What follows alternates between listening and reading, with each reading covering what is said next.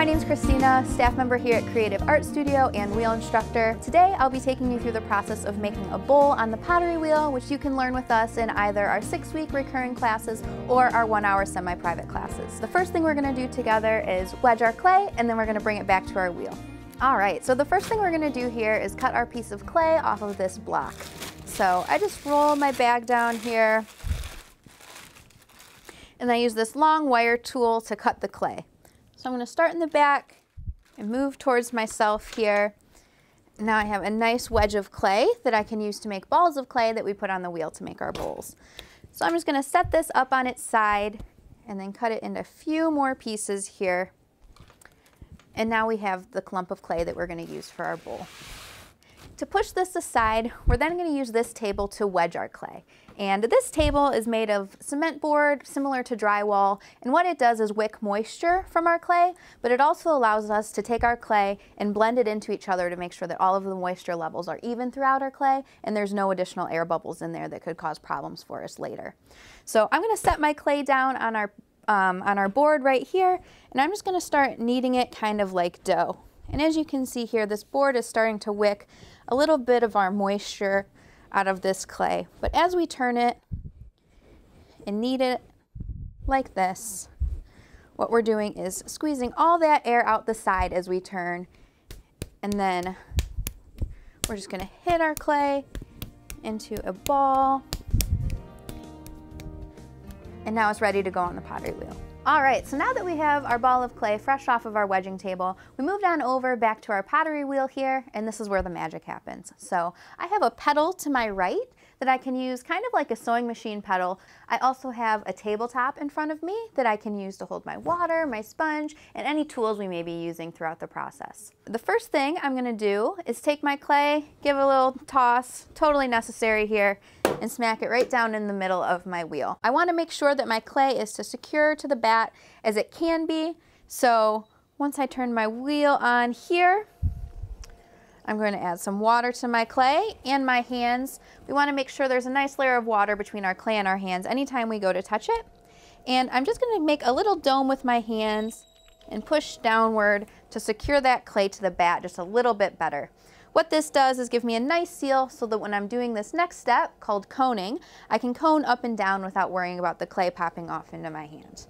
So I'm going to add a little bit more water here to both the clay and my hands and I'm gonna start the process of centering. So centering is where we use um, a technique called coning up and down to make sure that clay is perfectly in the middle of our wheel. I'm gonna take my hands against the bat here, start at the bottom, and kind of roll that pressure up to the top to make a cone. Then I'm gonna cone down by putting my left hand on the outside and pressing my right hand downward and out as that clay pushes down into the bat. So this is a centered piece of clay. And just for the sake of security, we're gonna go up and down one more time. So again, I'm gonna go down at the base, rotate that clay up just a little bit, and I'm gonna take that same position and rotate it down. I'm gonna take off that extra clay there, add a little bit of water, and now we have a nice centered piece of clay. This is a process that we learn in our six week class um, from taking that raw clay off the block and putting it on our wheel nice and centered.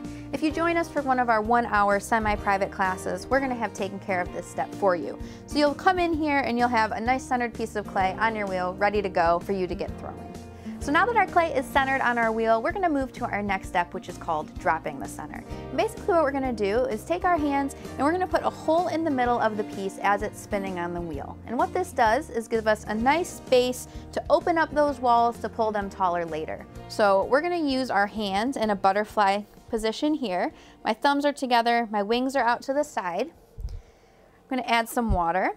So my wings are just gonna kind of hug that clay out here on the side and my thumbs are gonna start to push down into the middle.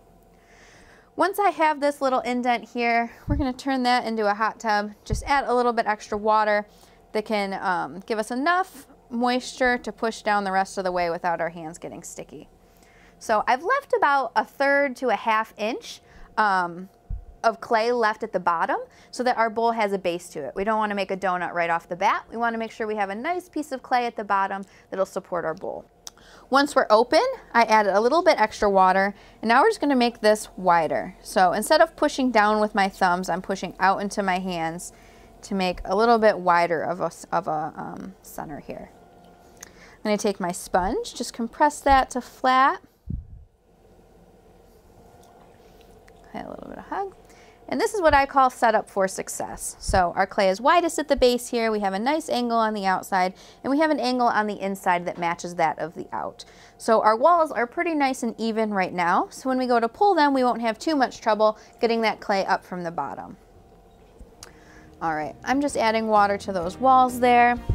And before we move on to the next step, we wanna make sure our wheel takes its speed down a notch and we're at about half speed. Now that it's time to pull our walls, we just want to make sure that we're keeping our hands in good position against the wheel. We're always going to be over here at about 4 or 5 o'clock.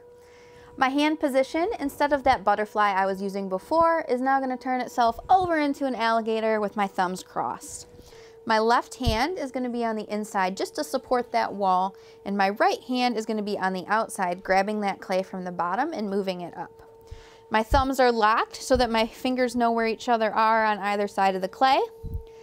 I start on the inside here, and my right hand is just moving up, and both of my hands are moving up the piece of clay together until I get to the top. And I'm going to very slowly and gently come off. I'm going to compress my rim there, add a little bit more water to those walls. I make a little indent for myself at the bottom here so my right hand has something to grab. And then we're going to do that one more time.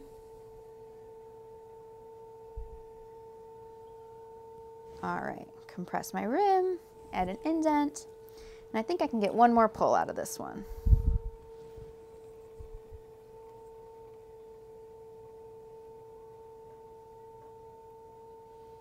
All right, now we're just gonna wanna clean up our little cylinder we have here so that we can turn this nice straight cylinder out into a bowl.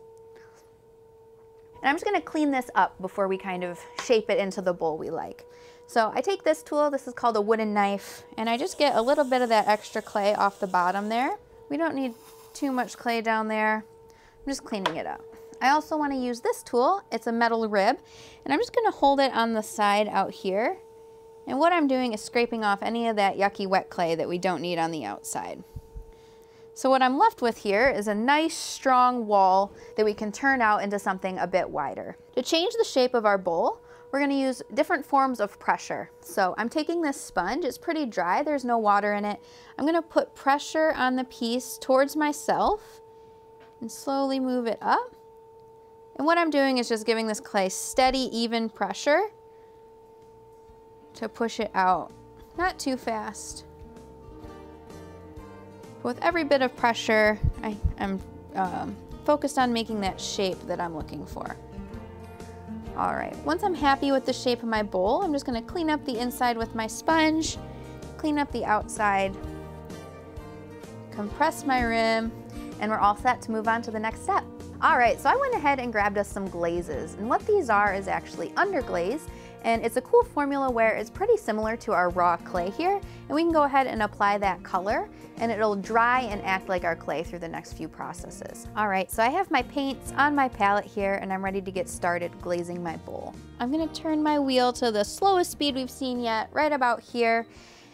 I'm gonna make sure that my paintbrush has a good amount of glaze on it, and then I'm just gonna hold it steady at the base here so that as the wheel's spinning, that glaze is applying nice and evenly to our piece. Once I start to feel my brush get a little sticky towards the clay, I know it's time to go get more paint. All right, now I'm gonna switch colors here. Just kind of holding my brush nice and steady and letting the wheel do the work for me. I'm not doing any crazy brush strokes or anything like that. I'm just letting the wheel as it spins work to my advantage now that I have the glaze applied to the outside, I'm just going to give mine one nice little swirl on the way up to blend those color changes. All right, and I'm ready to glaze the inside. So I'm gonna do the same thing here. I'm just holding my brush nice and steady, and as the wheel spins, the glaze is evening out on my piece on the inside. This is where you really have a lot of opportunity and creativity to make your bowl. However you choose, um, you can use anywhere from one to four or five colors and blend them however you like. Whether you have one color on the outside, multiple colors on the inside, whatever your vision is for your bowl, is now where it can come to life. Blending those colors on the way up, and I'm all set.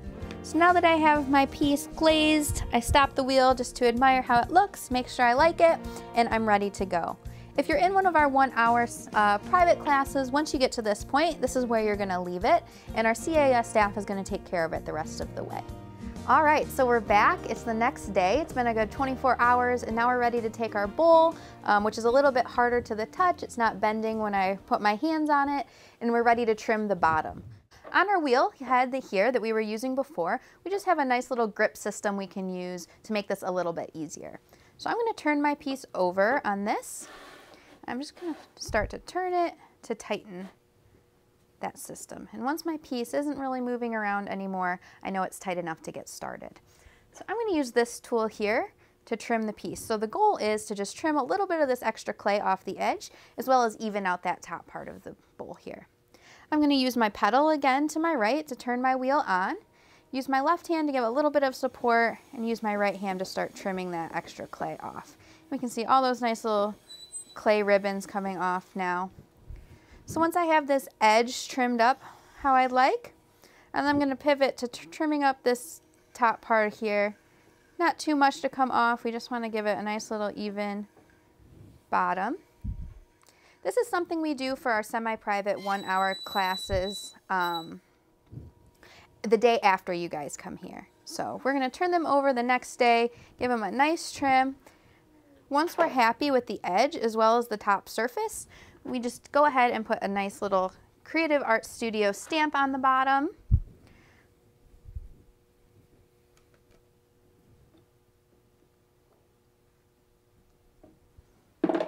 As well as a stamp that says the date that this piece was made, which would be yesterday.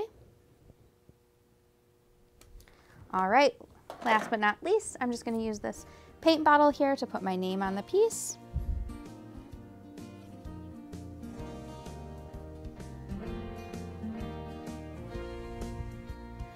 All right, so now that we have our piece trimmed, I just wanted to show you a couple extra examples of pieces that I've made using this same process here.